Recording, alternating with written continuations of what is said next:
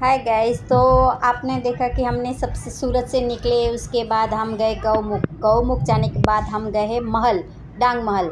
और वहीं डांग ज़िले में अ, महल के बाजू में 16 किलोमीटर दूर सबरी धाम आया हुआ है।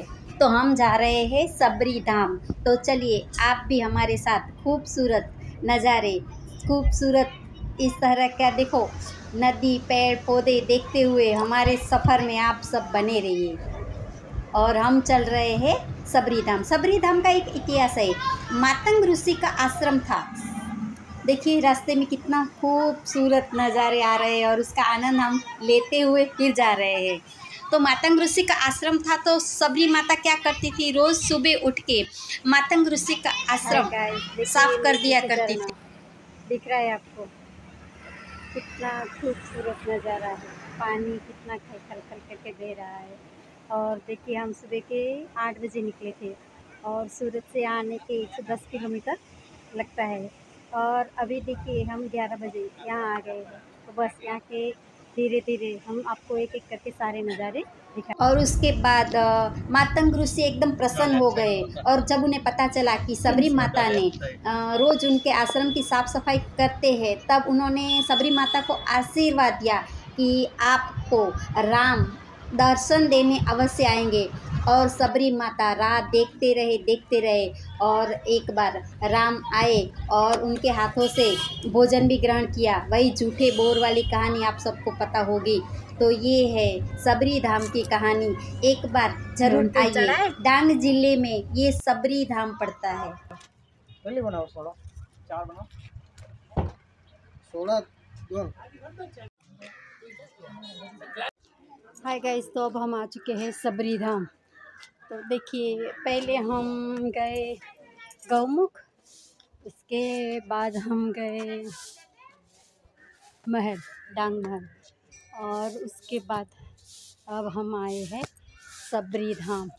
तो देखिए, ये मेरे पीछे सबरी धाम।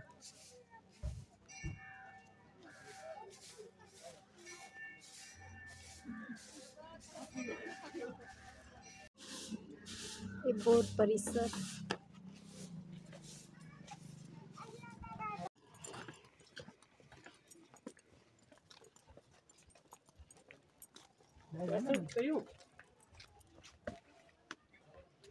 दर्शन करियो।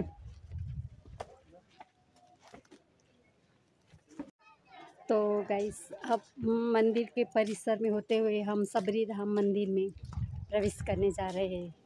तो देखिए आप भी हमारे साथ बने रहिए। देखिए ये मंदिर।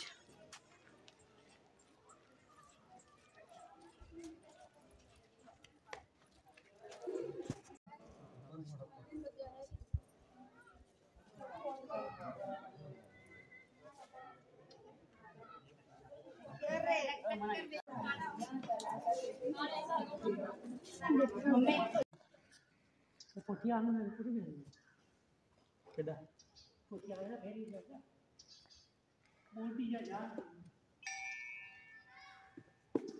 है तो और बस सबरी धाम के दर्शन हो चुके और अब हम जा रहे हैं अपने घर की ओर। तो चलिए, आशा करती हूँ मेरे डांग ज़िले का सफ़र आपको बहुत ज़्यादा पसंद आया होगा।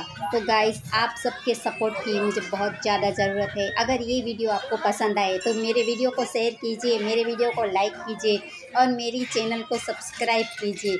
आप सबका धन्यवाद।